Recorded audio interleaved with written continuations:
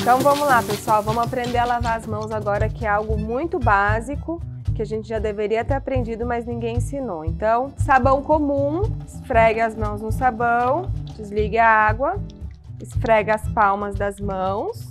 Aí a gente vai lavar a parte de cima das mãos e entre os dedos. Repare que a gente já está fazendo as duas coisas ao mesmo tempo.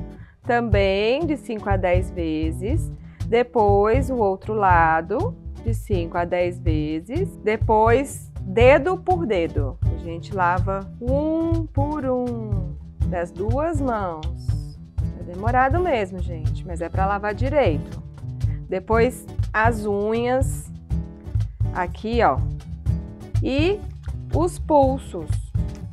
Se você usar anéis, pulseiras, é importante que sempre seja higienizado também. Se possível, se você tiver com uma manga curta, higieniza até o final do antebraço. Lava com bastante água corrente e depois seque as mãos com uma toalha limpa, sempre limpa.